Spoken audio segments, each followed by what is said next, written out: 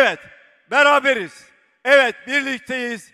Evet, Millet İttifakı'yız. Millet İttifakı'nın altı lideri bir aradayız. Ayrı partileriz, doğru. Ayrı programlarımız var, doğru.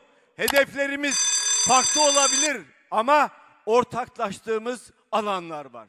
Demokrasi gibi, adalet gibi, devlette liyakat gibi, siyasetçinin halkına hesap vermesi gibi, kadın erkek eşitliği gibi, hiçbir çocuğun yatağa aç girmediği bir Türkiye gibi, itibarlı, onurlu bir Türkiye gibi, saygın bir dış politika gibi, temel ana normlarda beraberiz ve birlikteyiz ve birlikte yapacağız bütün bunların tamamını.